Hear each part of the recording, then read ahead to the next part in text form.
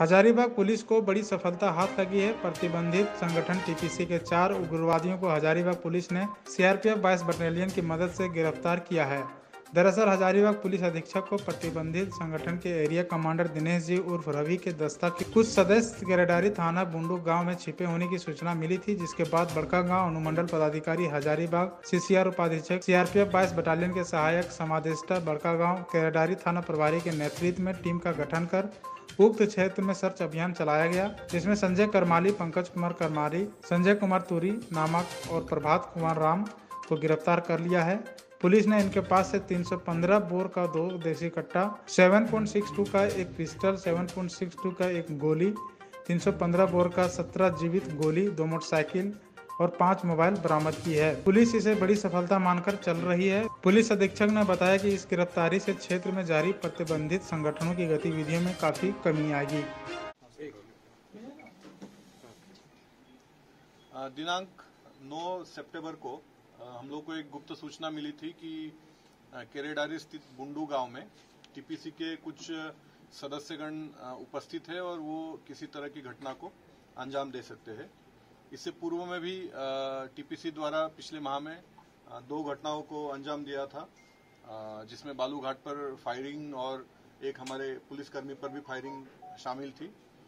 इसी सूचना का सत्यापन करने के लिए और आवश्यक कार्रवाई के लिए मैंने एक टीम का गठन किया, जिसमें SDPO Barkagaon, CRPF 22 battalion के बी कंपनी के सहायक समादेष्टा, थाना प्रभारी बड़का गाँव, थाना प्रभारी केरेडारी और अन्य सीआरपीएफ और पुलिस के जवान शामिल थे। इस टीम द्वारा बुंडू गाँव में छापामारी करते हुए वहाँ से कुल चार व्यक्तियों को गिरफ़्तार किया गया, जो टीएसपीसी, जो तृतीय प्रस्तुति कमेटी के सक्रिय सदस्य है, उनको हम लोगों ने गिरफ़्तार किया। उनके पोजेशन से हम लोगों ने एक पिस्टल, दो देसी कट्टे और करीब 18 जीवित राउंड्स हम लोगों ने बरामद किए हैं। साथ ही पाँच मोबाइल फोन्स और दो बाइक्स हम लोगों ने बरामद किए हैं।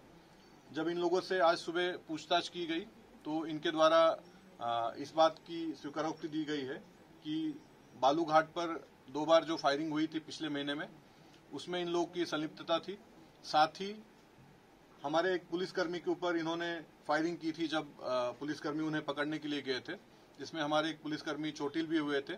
उस घटना में भी इसमें से कुछ लोगों की सक्रिय सदस्यता रही है सहभागिता रही है। इसके अतिरिक्त इनके और भी जो मेंबर्स है वो आ, उनका नाम इन्होंने खुलासा कर दिया है। वो भी जल्दी ही आ, पुलिस के गिरफ्त में हो जाएँगे।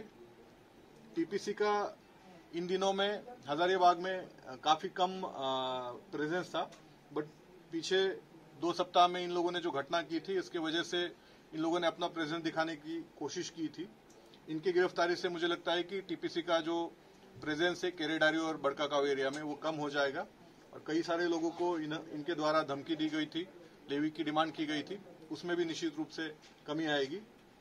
ये जिला पुलिस और सीआरपीएफ का बेहतरीन समन्वय का नतीजा है कि हम लोगों ने आज चार खूंखार टीपीसी के सक्रिय सदस्यों को गिरफ़्तार किया है। अगर आप इस चैनल पर नए हैं तो हमारे चैनल को लाइक शेयर एंड सब्सक्राइब ज़रूर करें, ताकि आने वाली देश विदेश की खबरें आपको मिलती रहे। स्वदेश वाणी।